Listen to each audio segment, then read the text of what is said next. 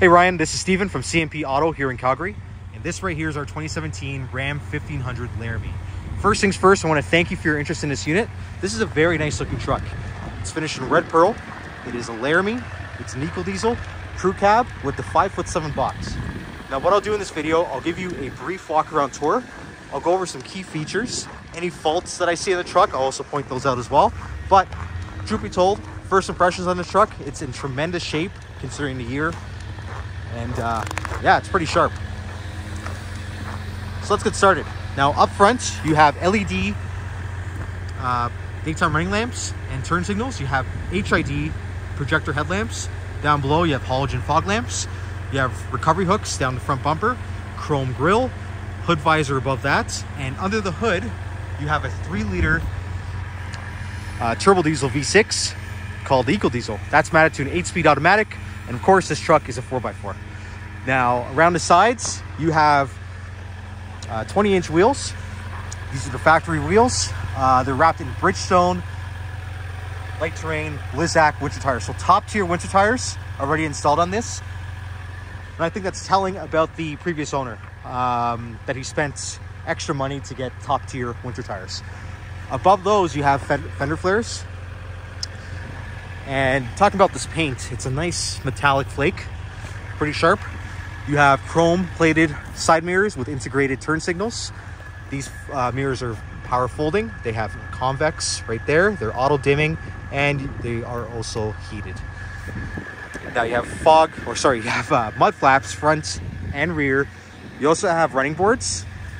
And as I mentioned, this is a crew cab, the biggest configuration of a cab in a half ton. Door handles, at least on the front, you have keyless proximity entry. This means you can keep your key in your pocket at all times when you combine this with push button start. Basically, you walk up to the vehicle. If you have the key on you, you can press this button to unlock it or press this button to lock it. Or sorry, there's a sensor on the inside of the door handle to unlock it. There you go. But lock it, unlock it. I'll get a little bit more into the interior in a moment, but let's go out back. So you have the rails, you have a three prong, or sorry, you have a uh, uh, trifold hard tonneau cover, black, sorry, BakFlip G2. That's uh, probably the best on the market. You have a power sliding rear window with auto defrost in the back as well. Down below, you have dual exhaust, class four hitch receiver, your four and seven pin harnesses, backup sensors, and a backup camera. Opening up the bed, you already have spray and box liner in here, and you have LED lighting as well.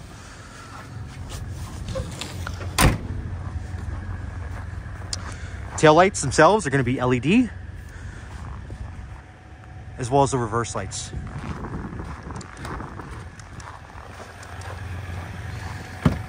Now getting into the back seat, going to have perforated black leather. This is a 60-40 split bench, folds up, revealing well, two things. Number one, storage underneath here, but you're probably wondering what this is. This creates, if you fold it out, a flat floor. And what I mean by that, typically, or not typically, but you do have a driveline hump here, so a little hump. So it's not a flat floor. So let's say you had you had to sleep back here, or you had a dog, or maybe a toolbox, it wouldn't lay flat.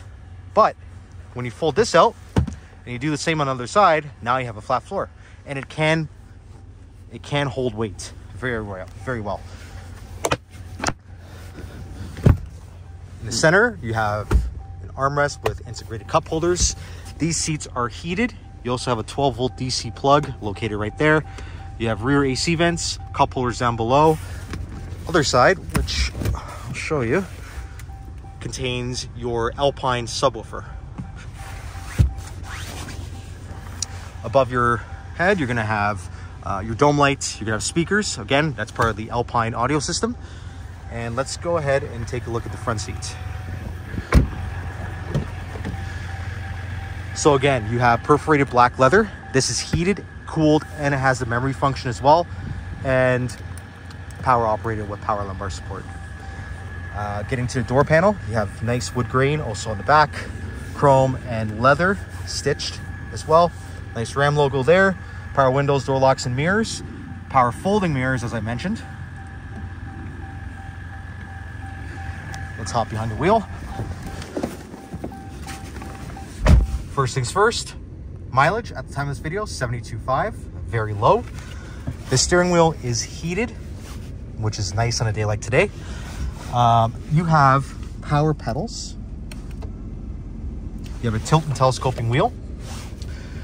You have a nice digital cluster or digital display within the cluster, which displays quite a bit of information from a digital um, speedometer, um, tire pressure,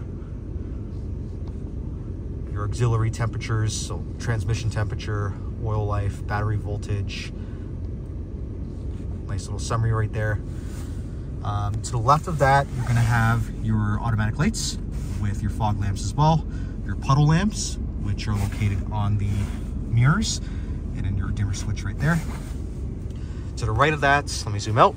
Again, you have nice wood trim, silver and chrome as well. You have an 8.4 inch screen using the Uconnect uh, software. What that means, it's fully touchscreen. You have integrated Sirius XM radio, Bluetooth, your heated and cooled seats, backup camera, which can be used at any point. It also has guidance lines that turn with the wheel that really help out with parking. It's very customizable, so you can set up your shortcuts at the bottom. You have digital controls for your HVAC controls, but of course you have physical controls down below. So whether you choose to control it that way or simply slide your finger, whatever you prefer. You also have integrated navigation, volume knob, tune knob, and all that. This is going to be your shifter. It's, uh, again, an 8-speed automatic. When you put in reverse, of course, the backup camera comes up. Below that, you're gonna have uh, your four-wheel drive selector.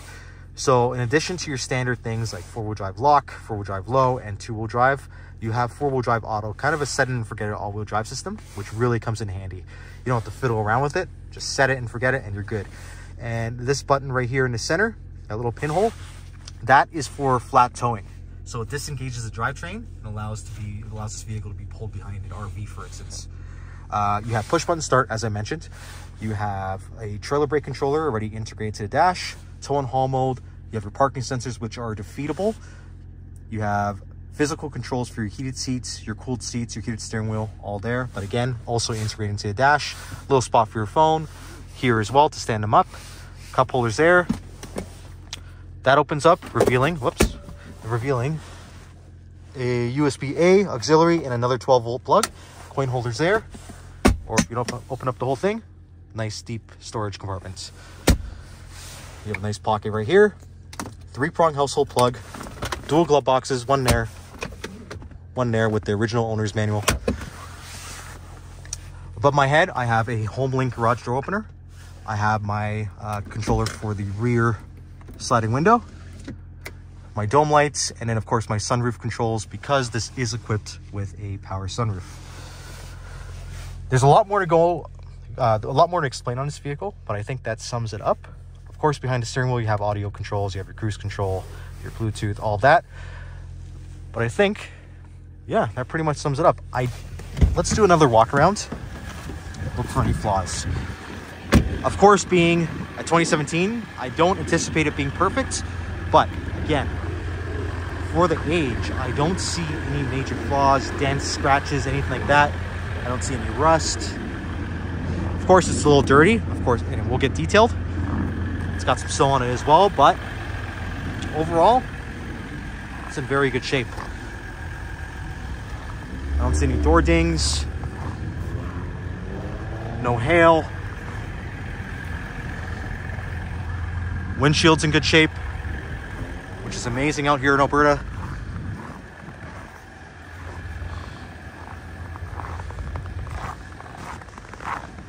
It's a clean truck. No dents on the tailgate I can see. Nope.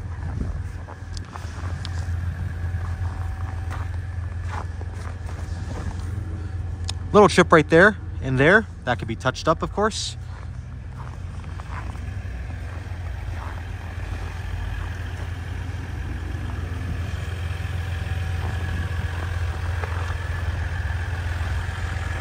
Yeah, nothing, nothing really stands out to me.